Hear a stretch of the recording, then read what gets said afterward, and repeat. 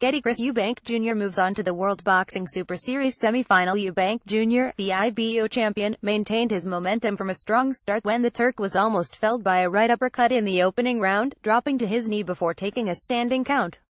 Yildirim, who weighed in at the 12-stone weight limit and was previously undefeated from 16 professional fights with 10 knockouts, recovered for the second, when he started to find range with his jab. However, Eubank Jr. stepped things up again in round 3.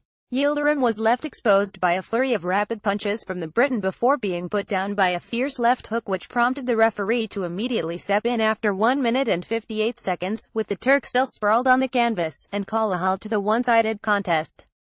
Getty Chris Eubank Jr. knocked out Avni Yildirim in the third round. Getty Avni Yildirim hit the canvas after a devastating blow from Chris Eubank Jr. Eubank JNR, who had fought outside the United Kingdom only once previously, will now take on the winner of next week's fight between Jamie Cox and George Groves.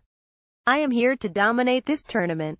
I am sending a message out there that I am coming, he said at ringside, broadcast on ITV box office. Despite the superb show from the British boxer, who should now be in line to meet David Benavidez for the WBC super middleweight title, there had earlier been some crowd trouble at the Hanns-Martin-Schleyer-Halle ahead of the main bout.